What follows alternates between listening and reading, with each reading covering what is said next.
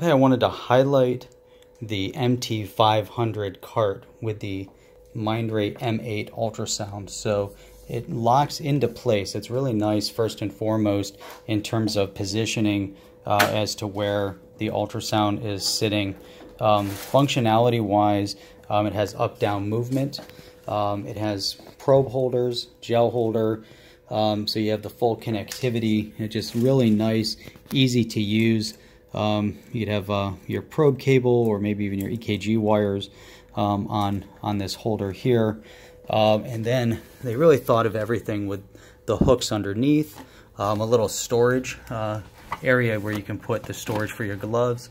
You can see a lock mechanism if you want to lock the ultrasound down. And the key part of this cart really is the triple probe connector. As you can see here, we have three probes uh, connected in, each one of them uh, locking into place, um, and the unit will identify whether or not they're locked in or, or not.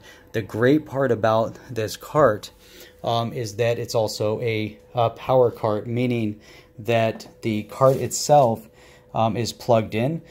The cart also has an additional uh, battery to it. So you can see back here where it's indicating charging.